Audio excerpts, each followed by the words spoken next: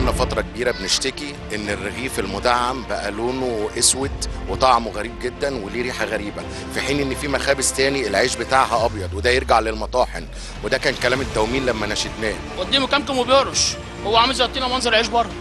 بس دي برضه مشكلة مش عارفين نحلها. إحنا نفسنا إحنا تعبانين بس مش عارفين نعمل إيه للزبون. كل فرن دلوقتي حسب ما الشنيه اللي بتديله الدقيق. في فرن بياخد من شنة حلوان ده أسوأ أسوأ حاجة. اللي بيجيب من النيل بيطلع عيش أبيض وكويس جدا. العيش استغفر الله العظيم يا رب ما يتاكلش. والله بيترمي. ده أنا بجيب من بره ما بيكفيش العيال. العيش ما يتاكلش حتة بيطلع العيش مسكع بناخده ونرميه والله. حرام ما رضاش ربنا غير المطاحن حرام. حد يرضى ياكل العيش ده؟ بقالنا شهرين بناكل تراب. أكتر من شهرين والله بيقرف بياكل تراب. العيال تعبوا وإحنا تعبنا. الرغيف كان بيشيل الأول دلوقتي الرغيف بقى بريال مش يعني اللي معاه ثلاث أربع عيال يوكلهم منين؟ وملهوش بطاقة تومين إلا نفرين. هو العيش حلو بس كله رملة بيقرش خالص مش عارفين ناكله بي... بيدرس في اسناننا خالص مش عارفين ناكله العيش كان كويس؟ فترة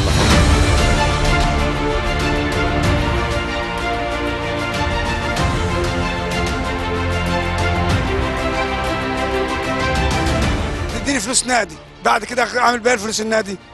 الحاجة النهارده ام 10 بكرة تبقى ب 30 بكرة تبقى ب 50 أنا عايز التموين يبقى رخيص ويزيد والفرد يزيد بدل ما بدل ما إزازة زيت واحدة يبقى ازازتين يبقى 2 كيلو سكر يبقى 2 كيلو فول يبقى 2 كيلو عدس. فكرة الفلوس دي فكرة مرفوضة من كل الناس. مش واحد واحد لأ. ليه؟ لأن الحياة طول ما هي ماشية عمالة قدامنا بتغلى. الجنيه أصبح ملوش قيمة. يبقى أنت تديني فلوس على أي أساس؟ اديني سلعة وأنا مش عايز منك فلوس. تومين حضرتك هو اللي متوفر للشعب هو غلبة بتاع الشعب رغيف العيش ده مش هنعرف نلاقيه. يا ريت حضرتك تخلي بالهم من رغيف العيش رغيف العيش والتومين المتوفر بتاع الناس الغلابة. الفلوس اللي أنا هاخدها أقدر أجيب بقى الحاجة اللي أنا اللي أنا محتاجها. لكن لما أنا آخد تموين يعني الحاجة دي مش مش مش مش هتكفيني. التمن هو اللي بينفع الشعب. النهارده أنا بقى تديله 200 300 جنيه للأسرة يعملوا لها إيه؟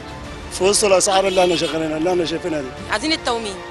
الفلوس هتعمل إيه؟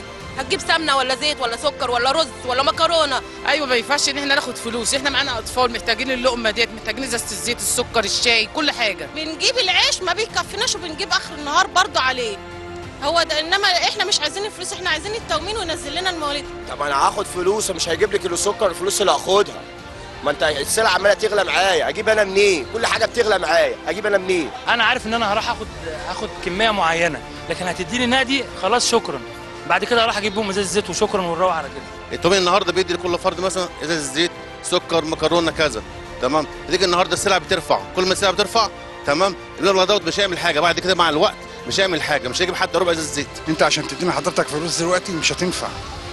خليك انت تديني 200 جنيه. 200 جنيه دي معناها إيه؟ معناها ان السوق اتفتح. كل واحد يبيع بمزاجه.